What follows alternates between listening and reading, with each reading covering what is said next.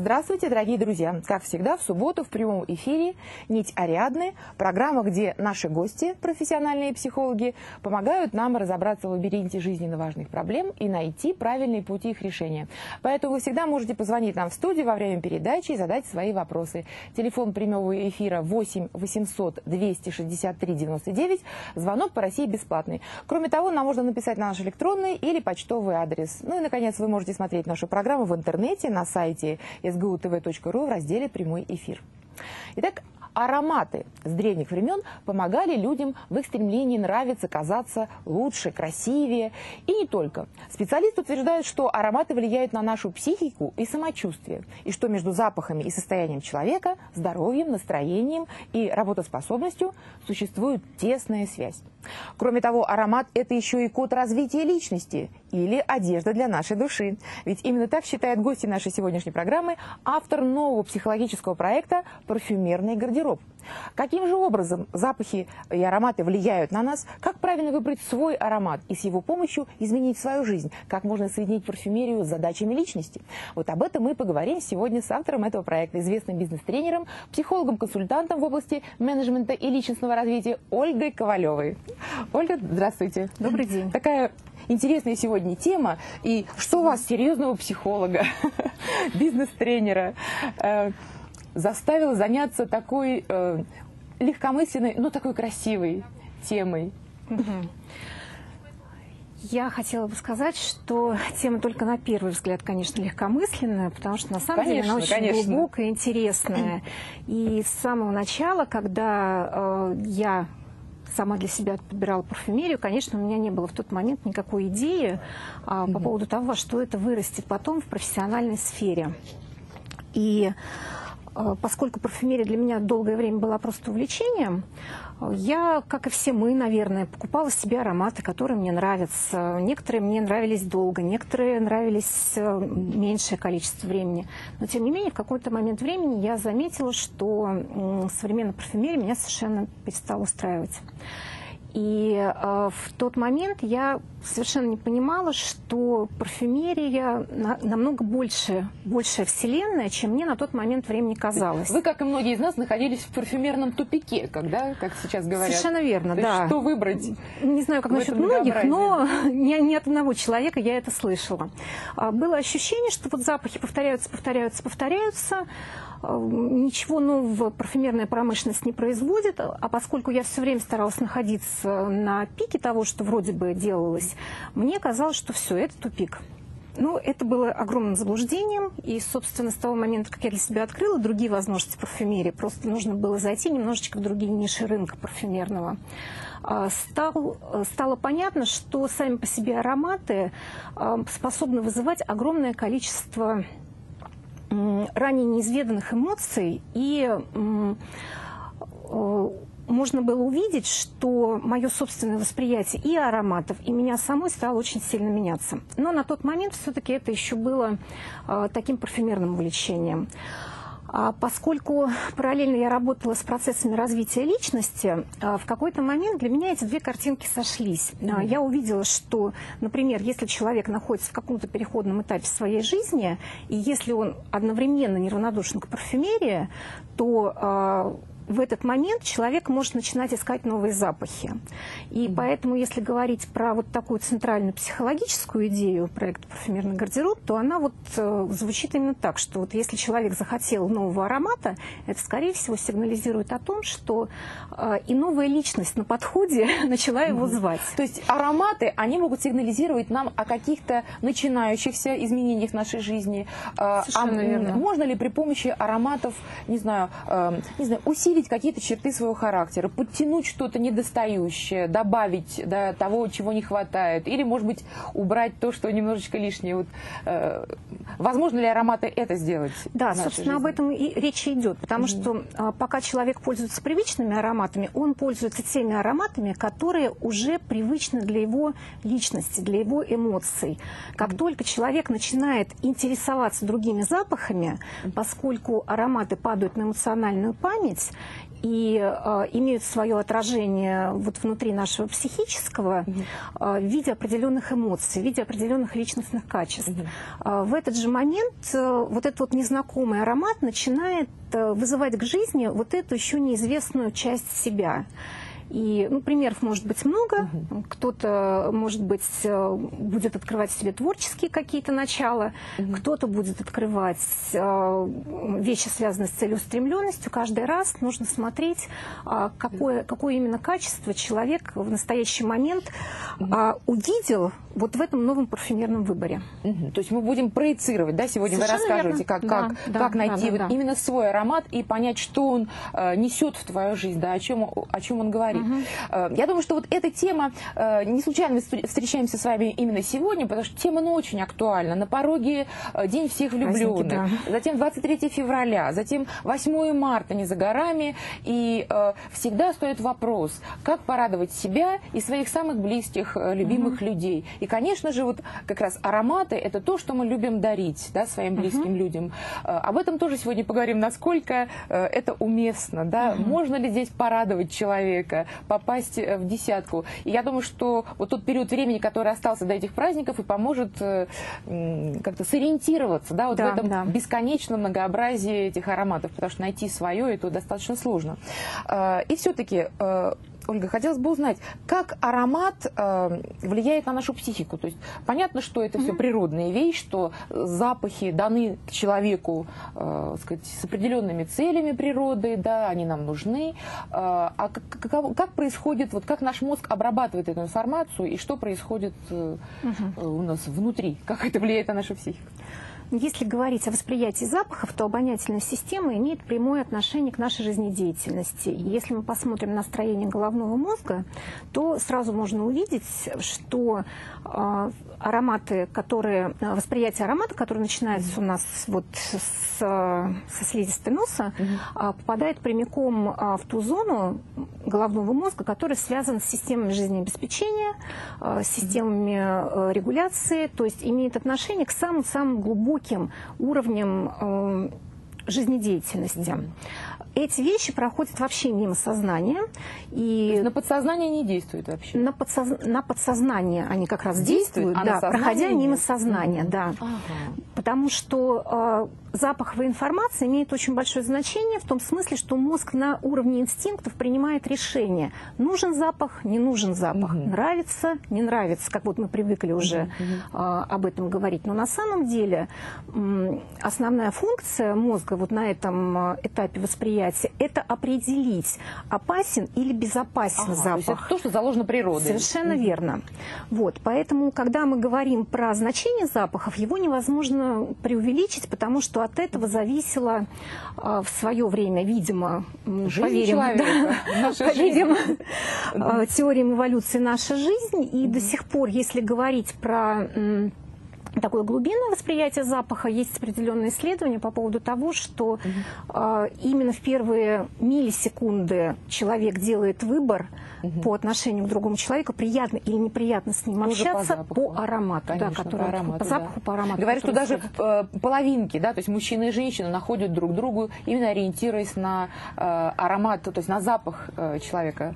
Здесь есть такая, здесь есть такое такая закономерность. Можно найти себе человека по запаху, действительно, как вы говорите, половинки. Здесь могут быть различные варианты. Угу. Но совершенно точно люди, которые не совпали а, вот в запаховых предпочтениях, вместе, могут не оказ... вместе не окажутся никогда. Вот, это очень угу. важно, да? Да, и это вот угу. настолько мимо, что остается поверить науке в этом смысле, потому что э, разуму достаточно сложно раскрутить эту цепочку. Хорошо, дорогие друзья, напоминаю, что сегодня мы говорим о, об ароматах э, и значении аромата в нашей жизни. У нас в гостях Ольга Ковалева и телефон прямого эфира 8 800 263 99. Звонок по России бесплатный. Готовьте, пожалуйста, свои вопросы.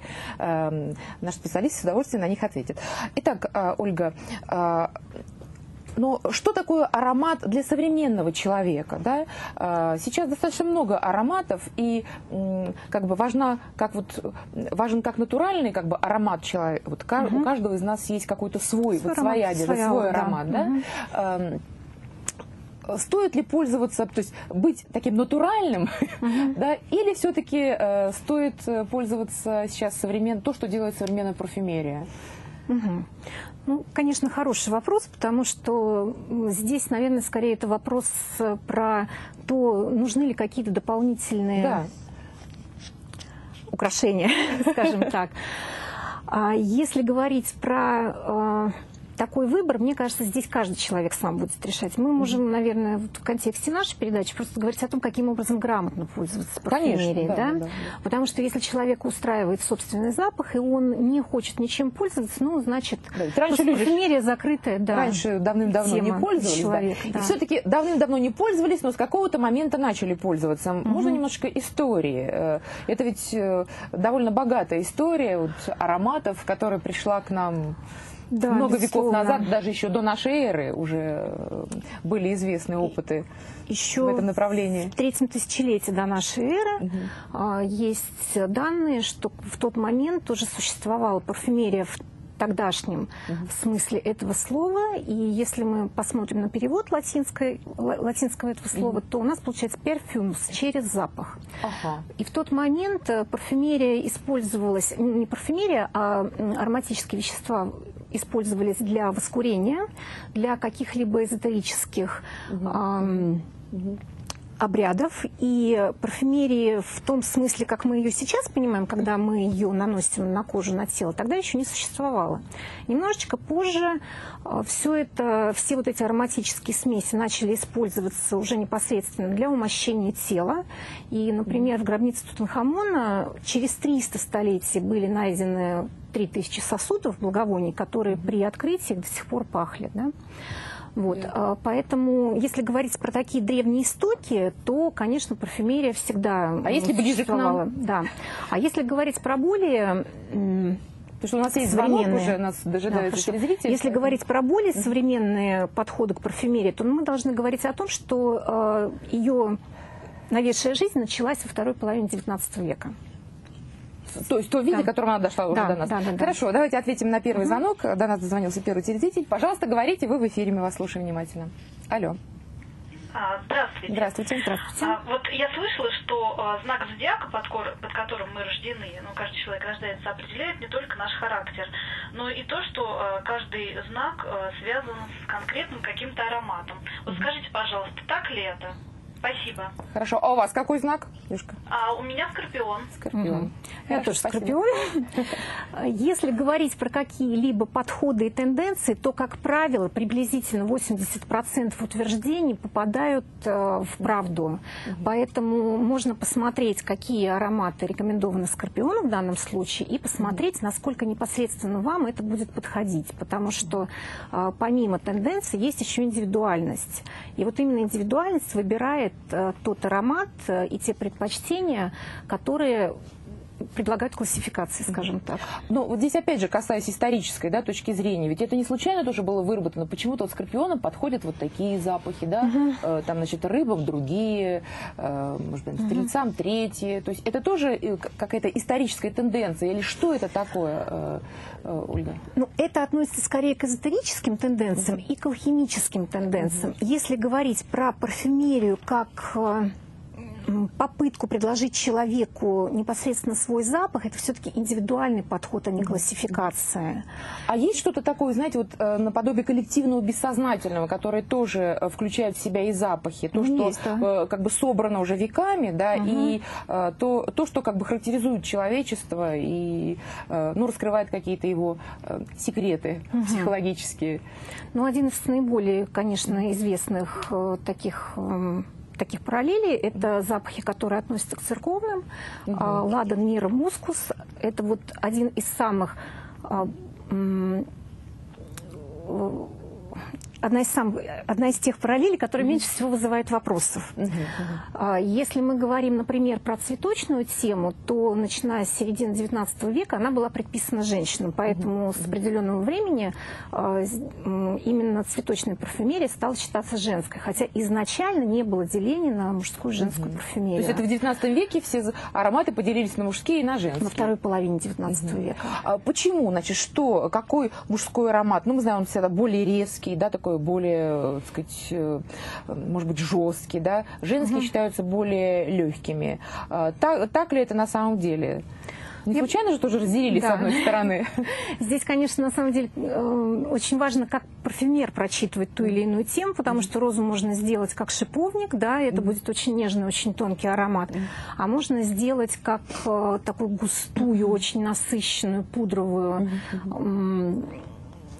пудровый аккорд, и э, это будет э, совсем нелегкая и э, девичья тема, а это будет тема зрелой женщины, допустим. Поэтому здесь, здесь очень, очень сильно зависит да, угу. от того, каким а, образом а, это ну сделано. Вот, кроме индивидуальных запахов, о которых мы сегодня поговорим, все-таки человек проецирует этот запах, аромат, свой аромат еще и в общество, да, потому да. что мы, почему мы сегодня говорим о, о запахе, как, вернее, об аромате как одежде для души, угу. да, но эту свою душу мы несем, мы общаемся с людьми, да, мы выходим в мир, и э, наш аромат вместе с нами. Mm-hmm. Поэтому это еще и возможность как бы человека говорить обществу, кто, кто я, да, кто ты да, такой. Это очень важно. То есть mm-hmm. вот э, этот образ, о котором мы сегодня поговорим. Но есть же еще, по-моему, ароматы и не только человеческие, да, но и корпоративные. Допустим, аромат какой-то э, фирмы. Я знаю, mm-hmm. что есть аромат страны даже. Вот, mm-hmm.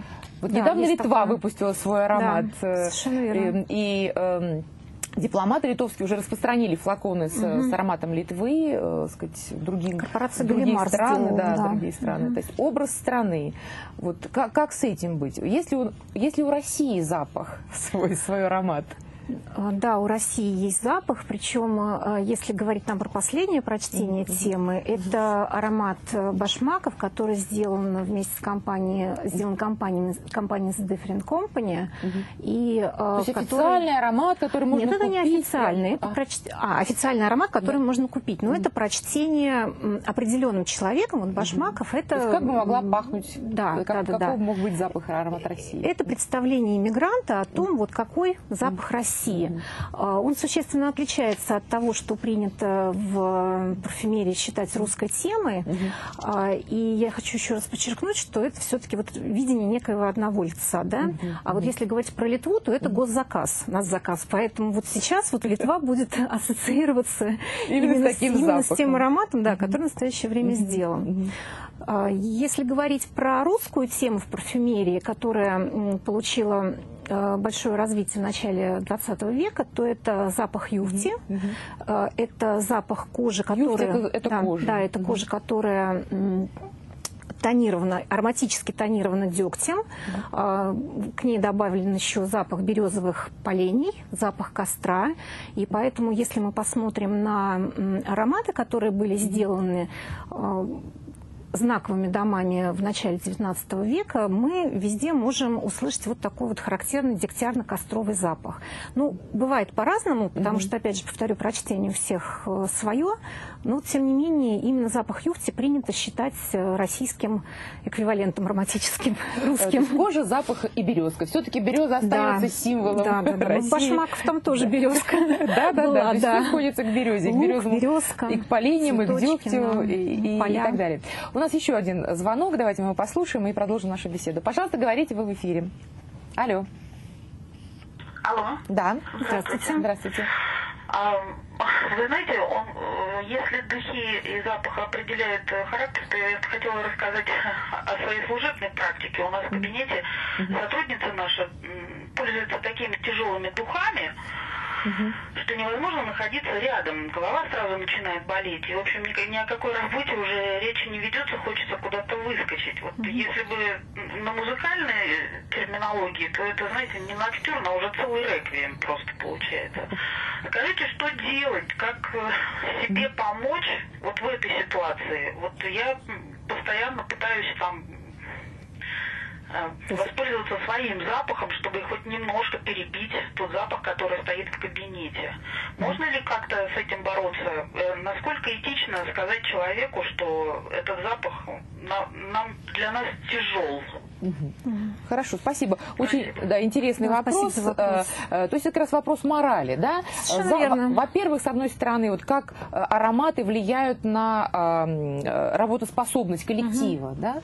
Э, и существуют даже такие ароматы, которые сейчас распыляют в офисах, я знаю, для того, чтобы создать хорошее настроение у коллектива. А в данном случае встает вопрос этики и морали. Угу. Как э, э, сказать человеку, который не понимает, у которого нет чувства меры? У некоторых же есть и аллергия на Совершенно на верно. Ароматы. А, слушательница очень правильно, зрительница очень правильно mm-hmm. поставила вопрос э, насчет того, уместно ли сказать. Mm-hmm. Действительно, проще всего об этом поговорить в открытую, потому что, честно говоря, это вопрос mm-hmm. не, не парфюмерии, а психологии.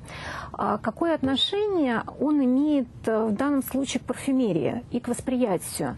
Ваш коллега может не чувствовать того шлейфа, который для вас является тяжелым. У людей различная чувствительность к запахам, и поэтому то, что для вас является тяжелым, для нее может быть совершенно нормальным. Но существует некая норма и некий э, ну, такой парфюмерный дресс-код, и поэтому, если что-то напрягает, точно так же, как в одежде, это нужно обсуждать. Угу. Нужно говорить о своих ощущениях, о просьбе быть более умеренным в аромате, попросить понимания. Я думаю, что э, ваша коллега отнесется к вам с пониманием. Да, э, потому что это действительно очень важно. Да, совершенно верно. Это вопрос культуры, да? Это вопрос есть, культуры, да. а с другой стороны, это, кстати, вопрос того, вот каким образом сейчас э, э, работает, скажем так, парфюмерия, потому что она... Э, старается захватить э, большое количество пространства, большое количество воздуха для того, чтобы притягивать на эти ароматы новых покупателей. И если изначально ароматы должны были сидеть близко к коже, близко к носителю, и только такой точечный шлейф э, проводил вот э, линеечку к женщине, например, которая пахла а, тем, что понравилось, то в настоящий момент времени люди, которые пользуются, а, как правило, парфюмери, той парфюмерии, которую мы покупаем, это такое облачное вокруг нас, облачная аура, и э, от этого приходится страдать окружающим. Да. Э, совершенно верно. То есть это еще и рынок, да, помимо, верно, да. помимо красоты аромата, психологии, эмоции, это еще и рынок для того, чтобы, ой, э, знаете, как бывает, ой, мне так нравится ваш запах, угу. есть понятие, наверное, модного запаха, да, вот угу. мы сегодня поговорим о том, как, как мы выбираем обычно запахи. Понравилось, как, как пахнет там, не знаю, у подруги, да, вот угу. запах, или там еще у кого-то, куплю себе такой же. Вот насколько, насколько это правильно, да, угу. и насколько насколько этично, скажем так, распространять свои такие а, ароматы так агрессивно э, в общество. Угу. И у нас осталось несколько минут до ухода на, э, на рекламу, Ольга. И все-таки вот корпоративные запахи существуют? Э, какие запахи существуют, используют, вернее, сейчас корпорации для того, чтобы э, наладить, эм, скажем так, хорошую обстановку в коллективе, или трудоспособную, угу. или еще какую-то... Угу. Татьяна, Два знаете, слова, да. если честно, для меня это э, вопрос не очень понятный, потому что корпоративный запах подразумевает, что этот запах должен нравиться всем. Угу. Вот. А, я не знаю таких примеров. Угу. И а, наоборот, есть данные по поводу того, что когда в парижском метро а, хотели распространять запах луга, через несколько недель этот эксперимент сняли, потому что люди попросили, чтобы пространство было свободно от запахов. Угу. Поэтому, если говорить про какие-то корпоративные ароматы, то, мне кажется, может быть, это дело какого-то далекого будущего. В настоящий момент времени я не знаю, чтобы это была какая-то широкая практика. Я не, я не говорю что о том, что да. это широкое, нет. Это, но есть, я читала о том, что уже применяют угу. в Европе, э, распыляют что-то. Знаете, это немножко по похоже, мне напоминает такую химическую войну. Э, я прихожу на работу, а там, простите, что-то в воздухе летает. Ну, как, да, как... вот как с метро получилось, Да, да, да. То есть да. какие-то запахи, которые меня побуждают да. действовать вот таким образом. Угу. Поэтому встает вопрос этики и морали. Угу это тоже имеет прямое отношение к психологии, и я считаю, что это, это очень и очень важно.